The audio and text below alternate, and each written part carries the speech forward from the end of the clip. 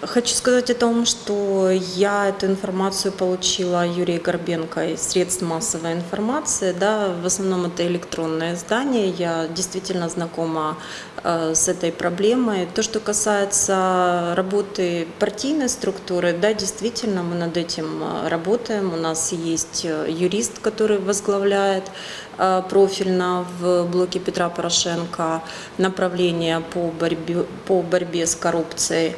И потому она и коррупция, потому что не всегда ты можешь посмотреть на человека и сразу же ответить на вопрос, э, участник он коррупционных схем или нет. Только в процессе общения и в процессе работы это можно выяснить. Ну, на данный момент этот человек не приостановил членство в партии? Нет, я не видела его заявления, не подписывала его заявление о выходе из партии. И я думаю, что нам для того, чтобы сделать окончательный вывод, э, все-таки нужно дождаться э, решения компетентных органов. То есть пока он под следствием, вы ничего не предпринимаете?